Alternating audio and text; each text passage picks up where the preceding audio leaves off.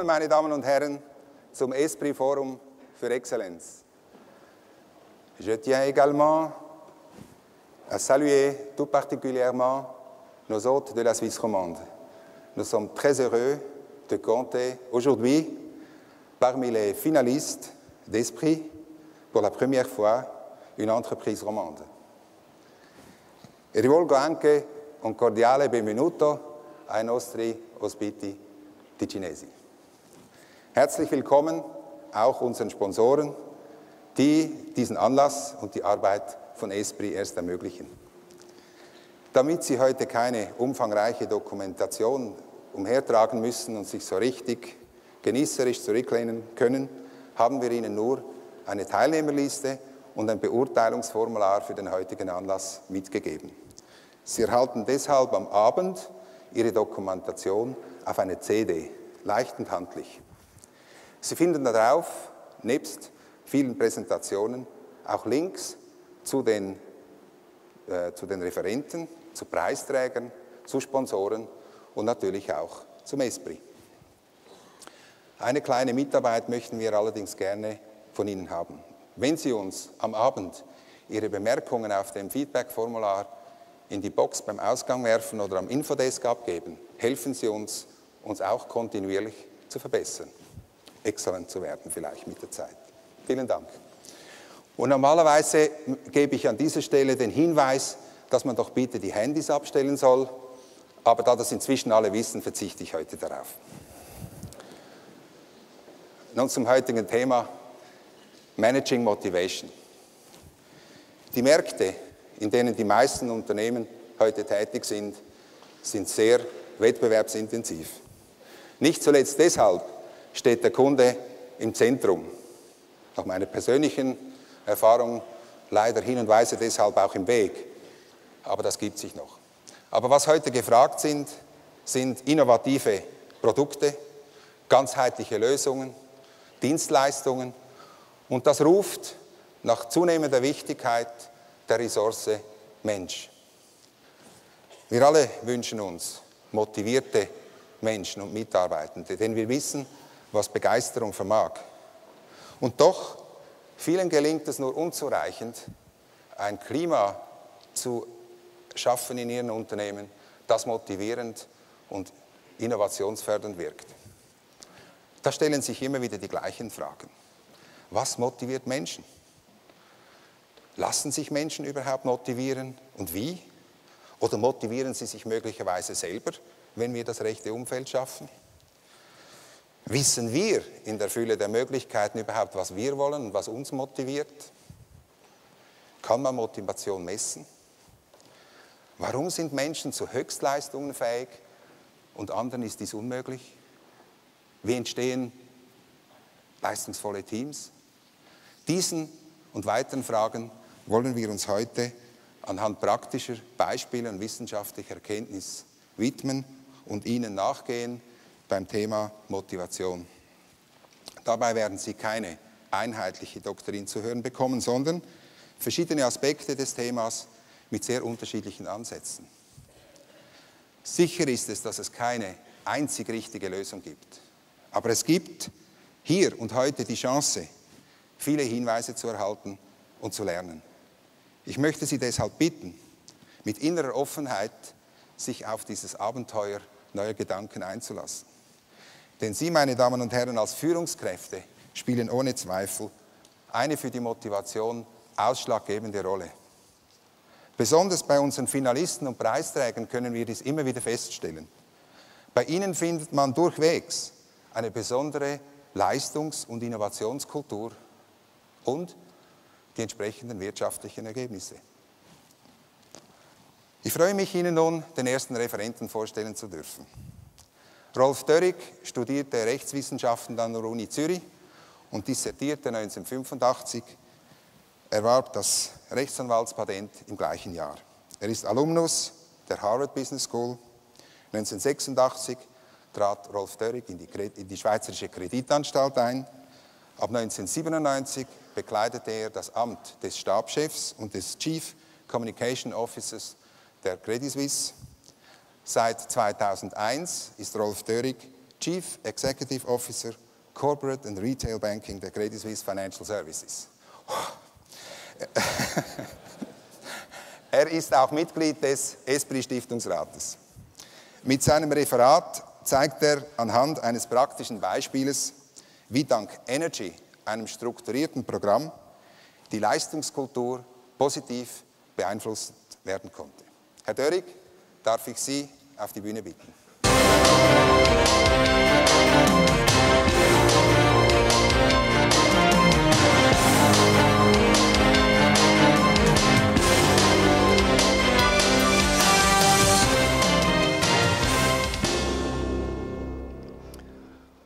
Guten Morgen, meine Damen und Herren. Wenn ich so in diese große Runde schaue, dann muss ich sagen, ich bin tief beeindruckt von der Arbeitskraft, die heute der Schweizer Wirtschaft fehlt.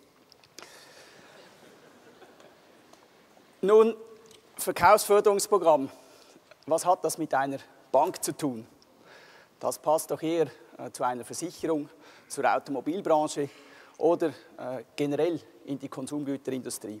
Aber zur Kultur einer Bank? Wenn Sie sagen, ein Bankberater ist doch kein Verkäufer und ich als Bankkunde bin doch nicht einfach ein schlichter Konsument, äh, da gebe ich Ihnen völlig recht. Und um das Resultat meiner Ausführungen gleich vorwegzunehmen, das Programm, das ich Ihnen vorstelle, das kann ertragsteigend sein und kann auch motivierend wirken, aber, und hier kommt das große Aber, entscheidend ist, wann, zu welchem Zeitpunkt ein solches Programm etabliert und implementiert wird und eben viel wichtiger, wie es gemacht wird. Und ich komme im Verlauf meiner Ausführungen darauf zurück. Und genau dieses konkrete Beispiel möchte ich Ihnen in den nächsten Minuten anhand meiner Erfahrungen, auch meiner persönlichen Erfahrungen darlegen. Eine Initiative, die wir 1999 gestartet haben im Schweizer Firmenkunden- und Retail-Geschäft. Und ich denke, das dürfte für Sie bedeutend interessanter sein, als mich zu Unternehmenskultur, Motivationsfaktoren in einem Großunternehmen oder über Leitbilder sprechen zu hören, denn das ist, das wissen Sie genauso gut wie ich, meistens toter Buchstabe oder äh, endet in Lippenbekenntnissen. Also, ich möchte Ihnen kurz im Folgenden die Ausgangslage schildern, in der sich die Credit Suisse im Herbst 98 befunden hat. Dann Ihnen ganz kurz Energy, dieses Verkaufs- und Motivationssteigerungsprogramm beschreiben, Ihnen dann die messbaren Resultate vorstellen und dann etwas über die Motivationswirkung dieses Programms sagen und enden mit meinen Erfahrungen. Zur Ausgangslage. 1998 oder 96 beziehungsweise hatten wir im Firmenkunden- und Retailgeschäft Schweiz einen Verlust von beinahe einer Milliarde. Und wir haben über die Zeit innerhalb von zweieinhalb, drei Jahren beinahe 3500 Stellen abgebaut. Das sehen Sie hier in der äh, operativen Gewinndarstellung. Also 96 bis Ende 98 konnten wir den Gewinn um gut eine Milliarde steigern und wieder schwarz werden. Die Ertragssteigerung auf der anderen Seite, Bruttoertrag von 96 bis 98 hat gut 500 Millionen Schweizer Franken betragen. Mehr als die Hälfte der Gewinnsteigerung, also von gut 1,1 Milliarden, resultierte aus Kostenreduktion. Das heißt also, während Ende 98 das Potenzial auf der Kostenseite ausgeschöpft war, boten sich für die Zukunft auf der Ertragsseite, auf der Ertragsseite noch entsprechende Steigerungsmöglichkeiten. Wie präsentierte sich die Ausgangslage in diesem Herbst 98? Das Problem, um geeignete Maßnahmen eben zur Steigerung dieser Erlöse zu erarbeiten, wurde die Situation gründlich analysiert und wir hatten das Gefühl, das Leistungspotenzial unserer Kundenberater sei noch nicht ausgeschöpft. Wir hatten innerhalb der Firma eine ungenügende Leistungstransparenz. Wir hatten auch keine Benchmarks, intern nicht wie extern. Und wir hatten auch das Gefühl, dass die Motivation bei uns und unseren Verkaufs- oder Kundenberatern äh, eben nicht so gut war, um aktiv auf die Kunden zuzugehen. Wir hatten dann im Sinne der Problemerkennung äh, breit angelegte Interviews mit unseren Kundenberatern und auch Filialleitern geführt. Und was dabei herauskam, eigentlich die Stoßrichtung zur Unterstützung eben unserer strategischen Ziele, profitabel weiter äh, zu wachsen, war, dass wir unter anderem die Verkaufsleistung steigern wollten und mussten und gleichzeitig das einhergehen lassen wollten mit einer Motivationssteigerung unter unseren Mitarbeitern.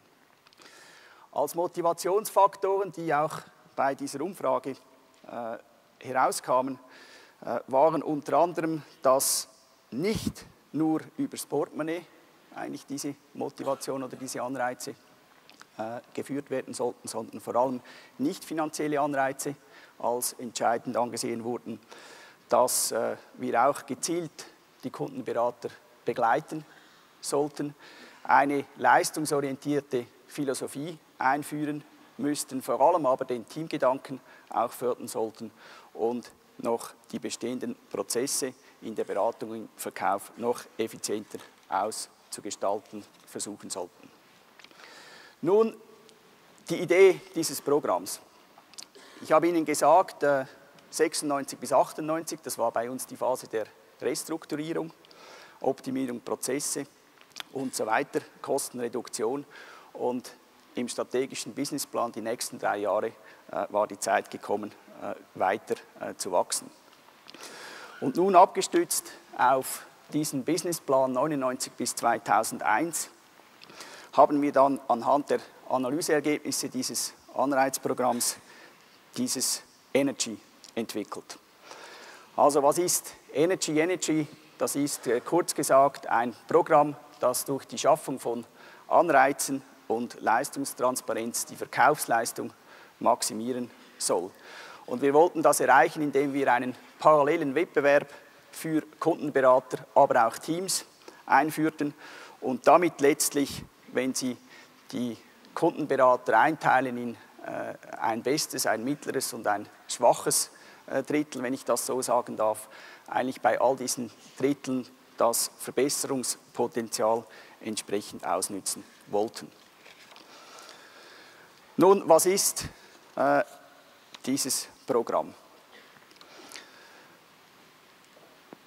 Es besteht aus vier Modulen und ich denke mit den aus unserer Sicht wesentlichsten Bestandteilen des Wettbewerbs, nämlich objektive Leistungsmessung, attraktive Preise, Transparenz und Verbesserung durch Lernen, wurde Energy in diesen vier Modulen im Detail konzipiert und zur Implementierungsreife gebracht.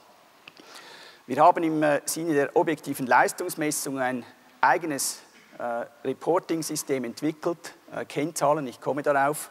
Äh, wir nannten das EPI, Energy Performance Indicators. Äh, wir haben auch im Sinne der Preise, Anreize geschaffen und äh, sogenannte Energy Shows eingeführt. Auch darauf komme ich zurück. Und ganz wichtig im Sinne der Transparenz, wir haben ein System entwickelt, das sich sehr offen und transparent über die ganze Schweiz bis auf Stufe einzelner Mitarbeiter über die Auswirkungen und die Resultate dieses äh, Programms entsprechend ausließ. Und letztlich Verbesserung durch Lernen, nämlich das Coaching, ganz wichtig, die gezielte Begleitung unserer Mitarbeiter im Rahmen bereits bestehender Plattformen. Ich möchte Ihnen ein Beispiel geben, wie dieser Kennzahlen, diese, diese Messung, äh, dieses Benchmarking auch äh, für die einzelnen Kundenberater äh, berechnet wurde. Wir haben auf fünf Produkten diesen Wettbewerb lanciert, Hypotheken, Neukundenakquisition, Fonds, Kreditkarten und Lebensversicherungen. Ich möchte nicht ausführen, warum gerade diese fünf, das ist im Moment auch nicht so wichtig. Eine wichtiger für Sie ist, Sie fragen sich jetzt sicher, wie lassen sich Verkaufsleistungen zum Beispiel von eineinhalb äh, Millionen Schweizer Franken Hypotheken, 20 Neukunden, die Sie akquirieren, zusammenzählen und dann letztlich noch objektiv pro Berater oder im Team vergleichen. Äh, wir haben einen sehr pragmatischen, aber einen meines Erachtens sehr erfolgreichen Ansatz gewählt, indem wir als Benchmark den jeweils besten Berater äh, der Schweiz äh, genommen haben. Und Sie sehen das, ihm dann jeweils pro Produkt, das er verkauft hatte, pro Volumen 1000 Punkte äh, zugerechnet haben und entsprechend die anderen Kundenberater an diesem besten Berater ausgerichtet und gemessen haben. Also wir haben die Verkaufsleistung sogenannt des einzelnen Beraters umgerechnet in diese speziellen Punktesystem und dann mit dem internen Benchmark verglichen. Und genau gleich äh, geschah die Berechnung auch unter den Teams im Teamwettbewerb. Dieses Vorgehen, das haben wir dann im ersten Quartal 99 in zwei Regionen in der Schweiz getestet, pilotiert und das war erfolgreich und wir konnten dann per 1. April 99 äh, dieses System implementieren in der ganzen Schweiz. Reporting habe ich angesprochen, das ist sehr wichtig. Ich möchte Ihnen hier äh, nur äh, zwei Beispiele aufführen. Wir haben einerseits äh, Ranglisten, die pro Kundenberater und Teams erstellt wurden. Der Rang basiert eben auf dieser Berechnungsweise. Wir haben die monatlich äh, erstellt und veröffentlicht, aber wir haben das schwächste Drittel unserer Kundenberater nie aufgeführt. Und äh, Sie werden sicher jetzt schon begreifen, warum, aber ich komme auch darauf noch später zurück.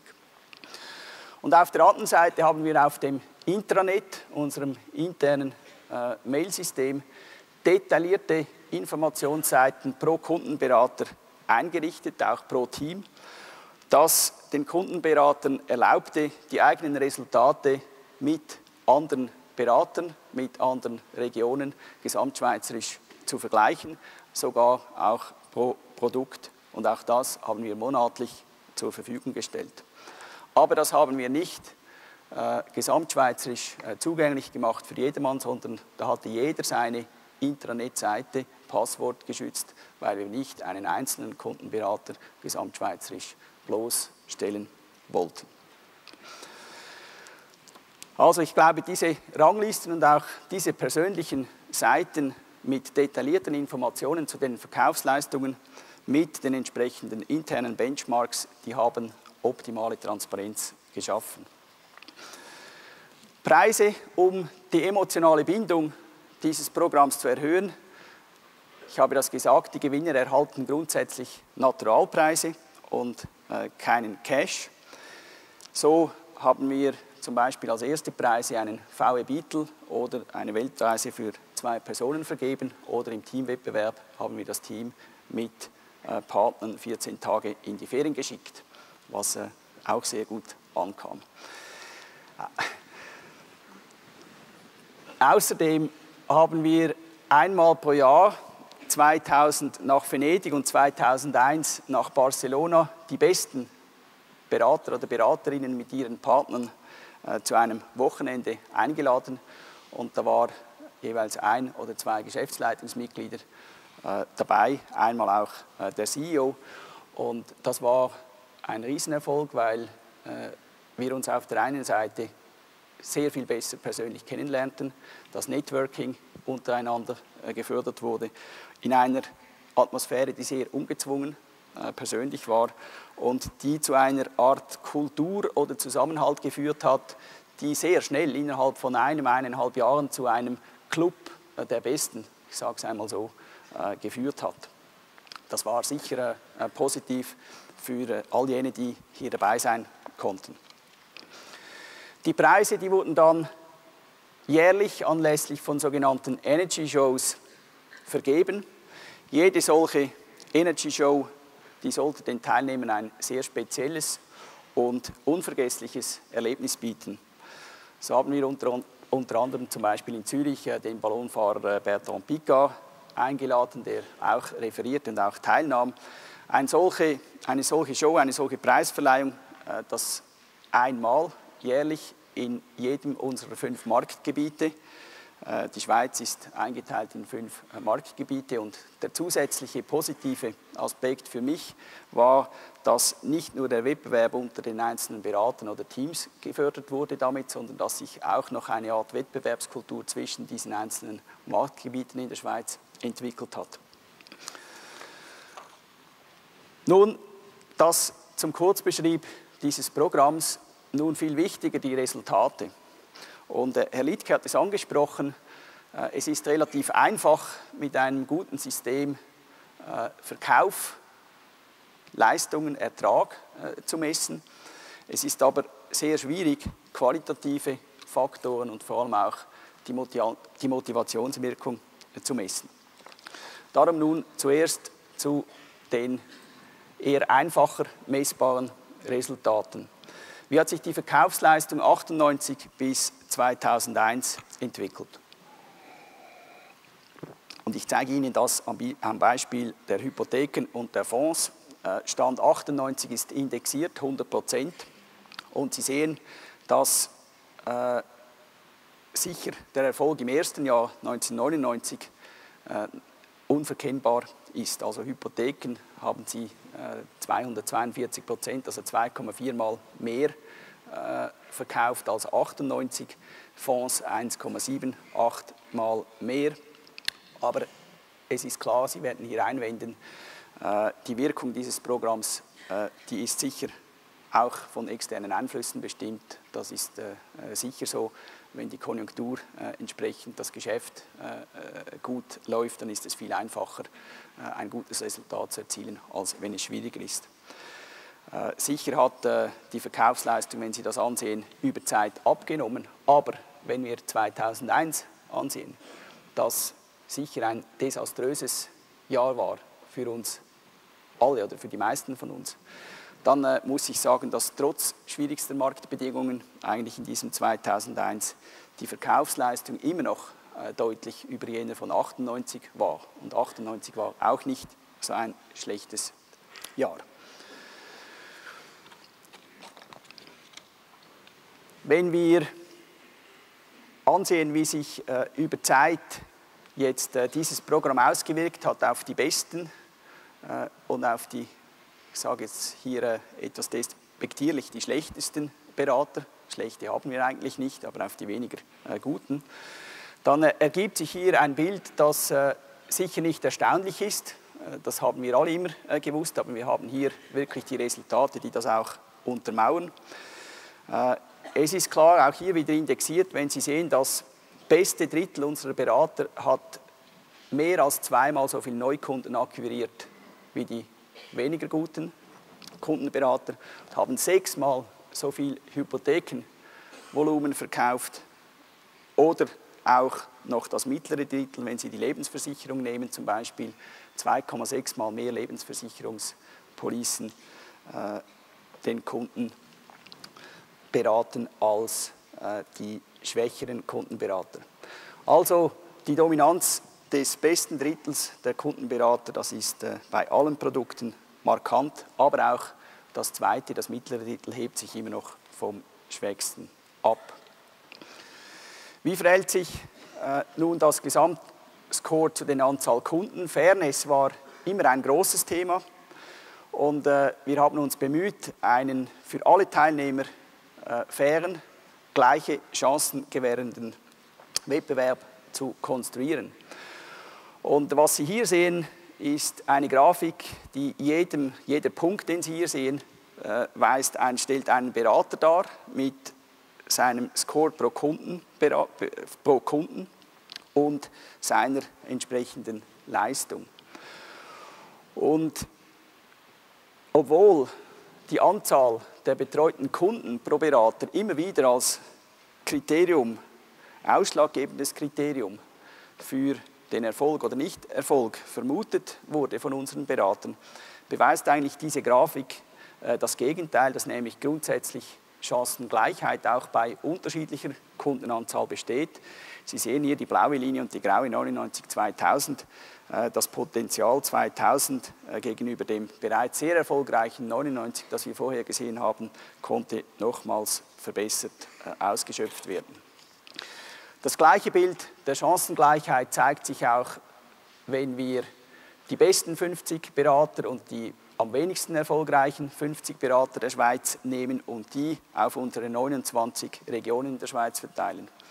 Auch hier zeigt die regionale Verteilung dieser Kundenberater schweizweit keine Hinweise auf signifikante Unterschiede, auch keine Unterschiede, ob das städtlich, Stadt- oder ländliche Regionen sind, Regionen an der Landesgrenze oder im Landesinnen, Sprachregionenunterschiede, kleine, große Regionen, das spielt eigentlich alles keine Rolle.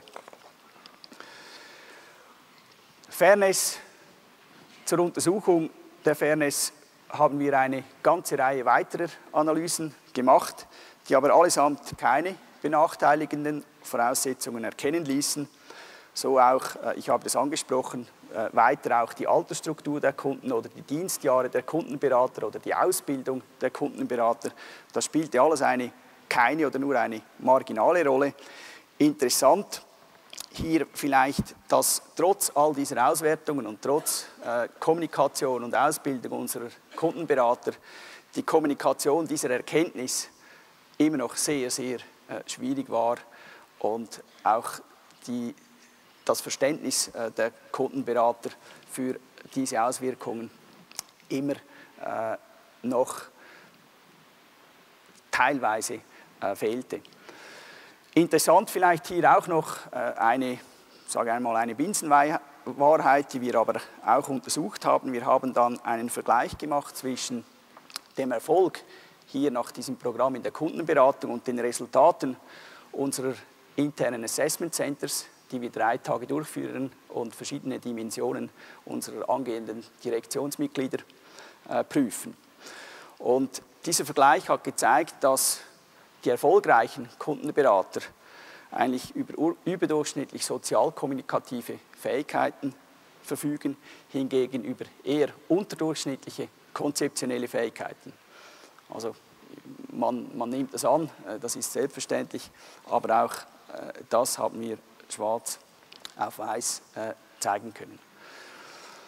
Also zusammenfassend, letztlich Vergleiche mit internen und externen Benchmarks haben eine ungewöhnliche Steigerung der Verkaufsleistung gezeigt. Der Wille zum aktiven Verkauf ist gefördert worden. Die unterschiedlichen Voraussetzungen der Kundenberater, die haben keinen respektive höchstens einen sehr marginalen Einfluss auf die Erfolgschance gehabt.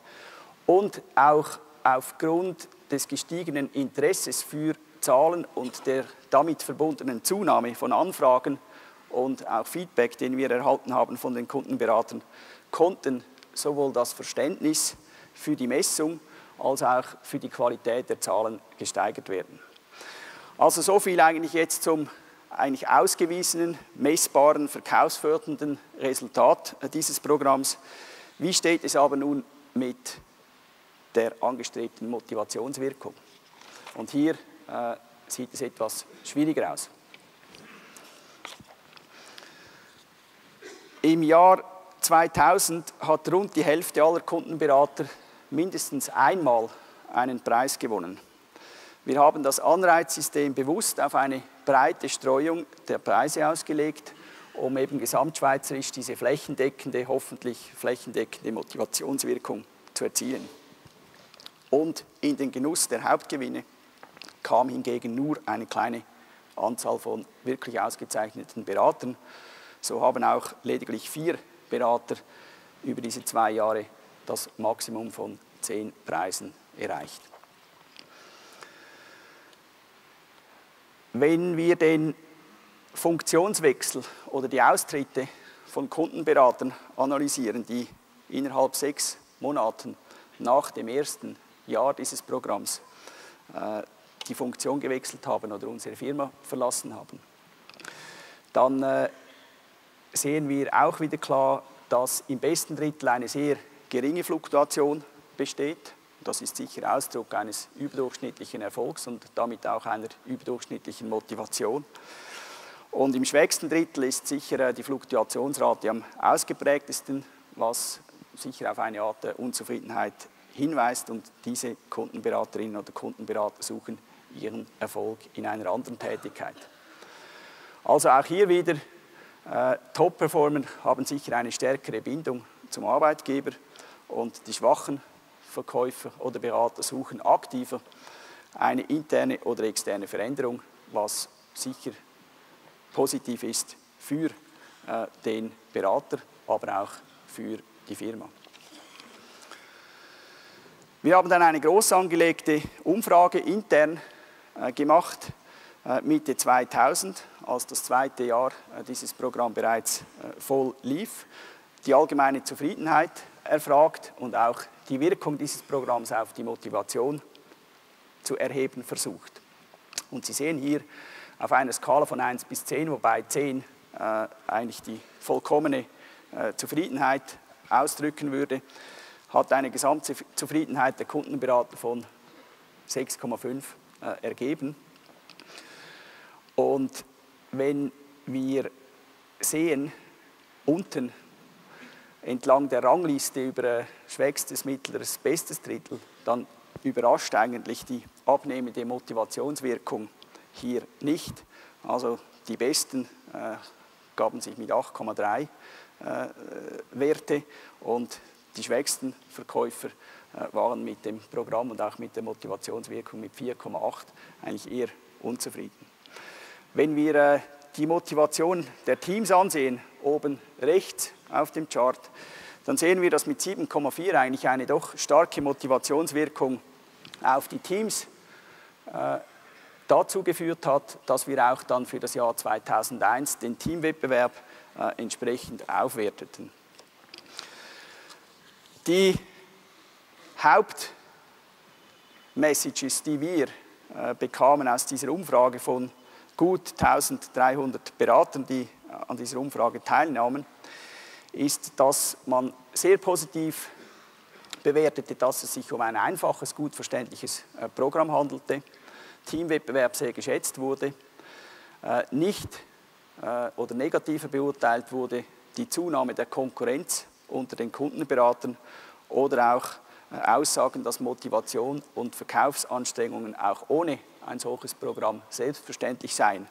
Allerdings muss ich hier sagen, im zweiten Jahr äh, dieses Programms äh, mit einer solchen Aussage wäre eigentlich der Zweck äh, bereits erreicht, denn Leistungstransparenz und der Wille zum aktiveren Verkauf, wenn das bereits selbstverständlich ist, dann braucht es auch ein solches Programm nicht mehr.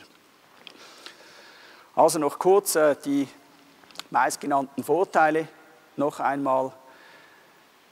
Honorierung guter Einzel- und Teamleistungen, Förderung Wettbewerbsaspekt, Verkaufsansporn, Attraktivität der Preise, die Nachteile, äh, teilweise verspätete Verfügbarkeit der Resultate und Ranglisten, Messfehler äh, wurden angeprangert, auch die Ellbogenkultur, die sich zum Teil unter den Beratern äh, entwickelte, wurde negativ beurteilt und vor allem auch, dass man sagte, die zwei hinteren Drittel, äh, die haben einen doch geringeren Anteil am Erfolg der Bank, sind aber natürlich in ihren Funktionen genauso wichtig grundsätzlich wie auch äh, das beste Drittel, weil ohne diese hinteren zwei Drittel äh, könnte auch die Bank ihre äh, Aufgabe und auch ihre Kunden letztlich ja nicht so betreuen, wie das nötig ist. Nun, was sind die Erfahrungen? Meine persönlichen sechs Erfolgsfaktoren in dieser Reihenfolge und genau auch nach Wichtigkeit, so wie ich das sehe. Erstens, Sie müssen ein wirklich einfaches und sehr gut verständliches Konzept mit klar definierten Spielregeln haben. Das ist die Grundvoraussetzung. Ohne das geht es nicht. Zweitens, und das ist ebenso wichtig, ein solches Programm, das muss, das muss das volle Commitment äh, der Geschäftsleitung des Managements haben. Und ich komme noch äh, darauf zurück, weil sonst funktioniert das garantiert nicht. Drittens, wir müssen sehr, sehr offen und transparent äh, kommunizieren. Alle Resultate, alle Analysen, laufend das Controlling der Datenqualität überwachen und verbessern. Fünftens, eben unsere Berater gezielt coachen und begleiten während diesem Prozess. Und dann sechstens, sicher auch die Feste feiern. Das hat sehr viel beigetragen und wahrscheinlich liegt dort die größte Motivation in diesem Feiern von Erfolgen. Ein solches Programm hat aber auch ganz klar seine Grenzen. Ich sehe, genauso wie ich sechs Erfolgsfaktoren sehe, sehe ich sechs Einschränkungen oder Grenzen. Erstens die Qualität der Beratung oder der Verkaufsleistung ist auf Stufe Mitarbeiter nur sehr, sehr schwer messbar. Ein möglicher Interessenkonflikt zwischen der Zielsetzung des einzelnen Beraters und den Kundenbedürfnissen, der kann programmiert sein, wenn Sie die falsche Zielsetzung wählen.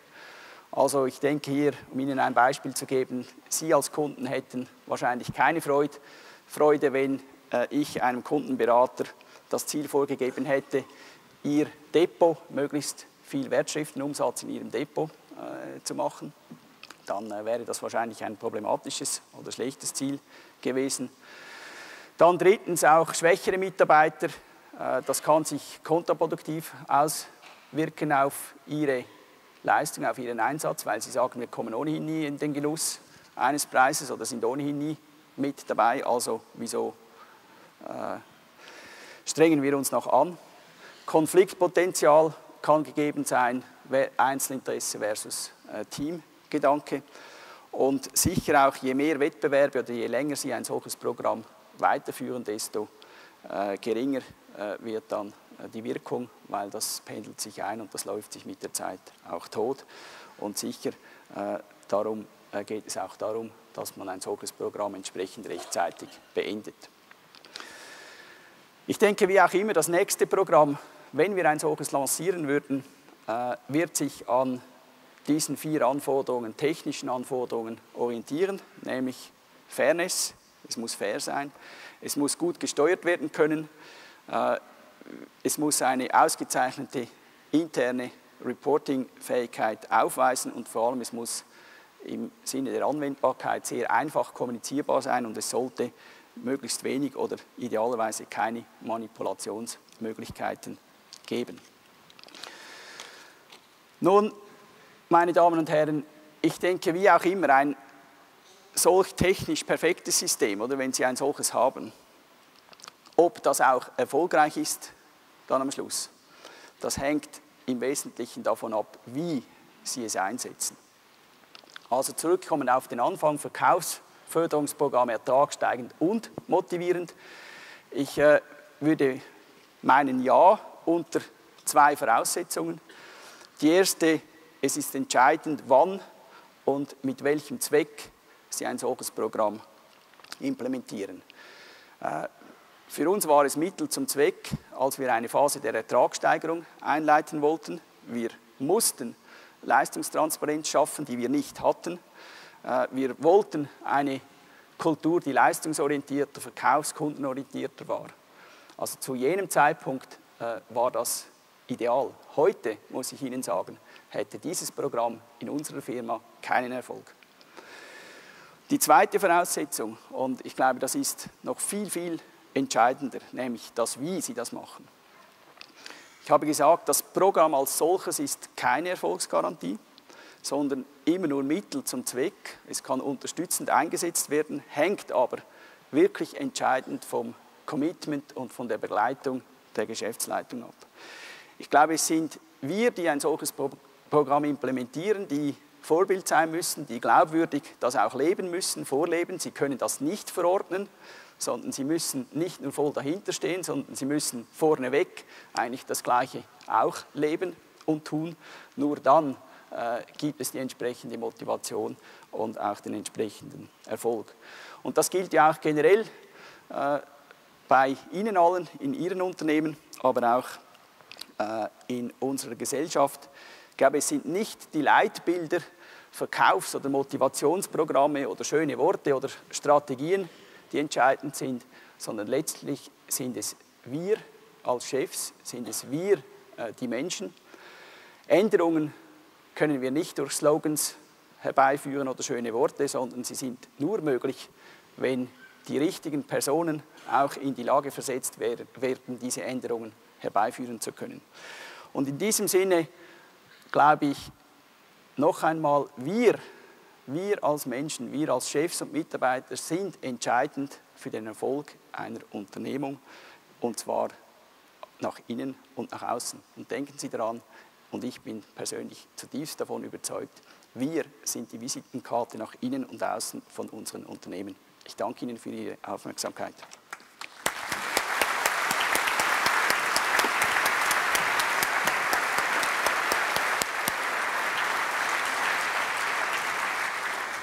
Also Herr Dörig, das war ein wunderschönes Plädoyer für das Vorbild der Führung. Also man merkt, dass Sie Stiftungsrat von Esprit sind. Das gehört zum Excellence-Modell. Aber was mir eigentlich noch besser gefallen hat, nicht noch besser, aber auch gefallen hat, dass Sie Feste feiern können. Das sieht man ja am Bankschalter nicht automatisch, nicht, dass Sie da zusammen nach Venedig reisen. Das war toll und das bringt mich eigentlich zum Thema der Energie. Ja. Excuse, wenn ich da vielleicht auch noch etwas sagen darf. Äh, Energy und fest. Also Sie haben mir, darf ich Herr Doktor sagen? Ja, wir können fest, ja. ja. Also das ist wirklich super gewesen. Also mir hat das wirklich aus dem Herz gesprochen, weil ich meine der freie Fluss von der Energie ohne Stress. Das wissen Sie ja alle, das ist die wichtigste Voraussetzung für eine optimale Leistungskultur. Habe ich das schön gesagt? Ja. Also, Aber wenn ich mich kurz vorstelle, ich bin Maja Künzli. Ja.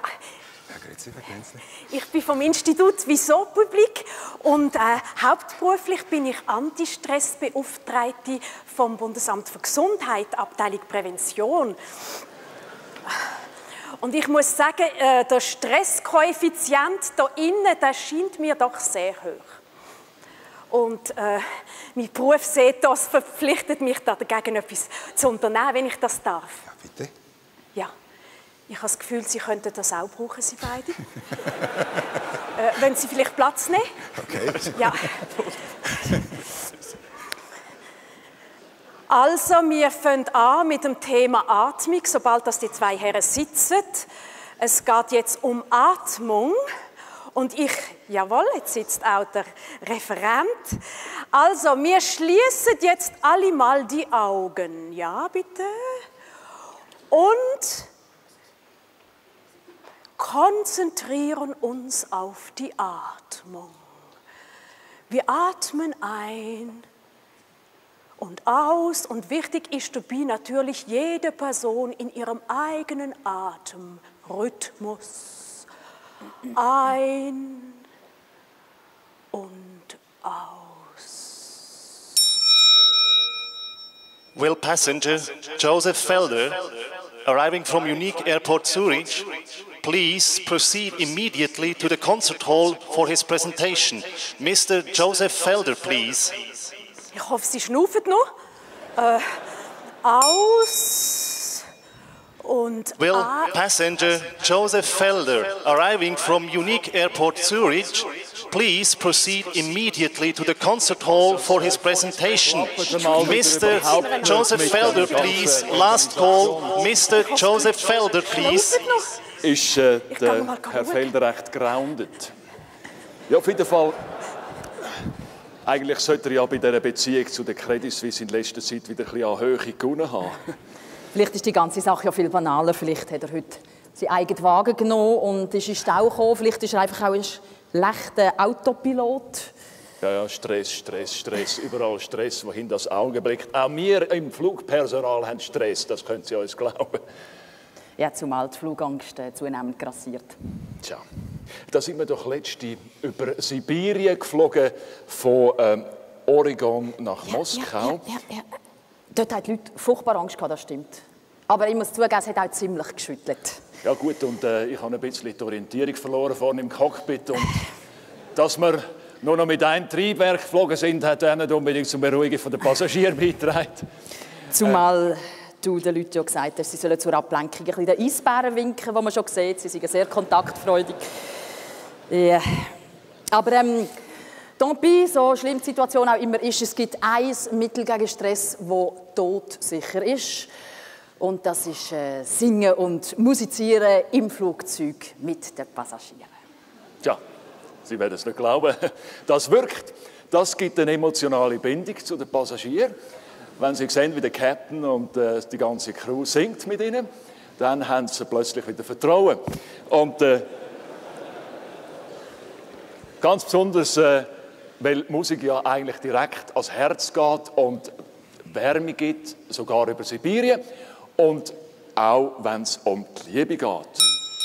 Last call, will passenger Joseph Felder, arriving from Unique Airport Zurich, please proceed immediately to the concert hall for his presentation. Last call for Mr. Joseph Felder, please. Weißt du was, wenn der Herr Felder äh, noch nicht gerade landet, könnten wir eigentlich unseren Anti-Stress- und Anti-Eisbären-Song gerade mal präsentieren. Absolut. Ja, ist gut, dann haben wir auch ein bisschen... Hm? Comes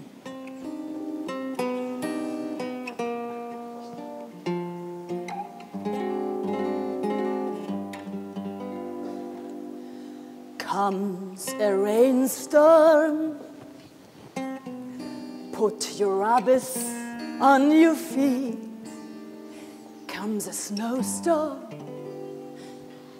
you can get a little heat, but comes love. Nothing can be done. Comes a fire, then you know just what to do. Blow a tire. You can buy another shoe, but comes love. Nothing can be done. Don't try hiding, cause there isn't any use. Use, use, use, use. Start sliding when your heart turns on the juice. Comes a heat wave, you can hurry to the start. Comes a summons, you can hide behind the door. Comes love, Nothing can be done. Comes the measles, you can quarantine a room. Comes a mousy, ah, you can chase that with a broom. Comes Comes love. Nothing can be done. That's all, sister. If you've ever been in love, love, love, love, that's all, brother. You know what I'm speaking of. Comes a headache, you can lose it in a day. Comes a toothache, see your dentist right away. Comes love. Nothing can be done. Comes love. Nothing can be done. Comes love. Nothing can be done. Comes love. Nothing can be done. Thank you for flying Love Love Air. Air.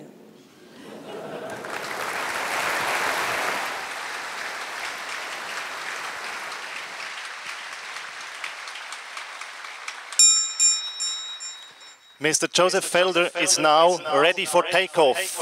Mr. Joseph Felder, please.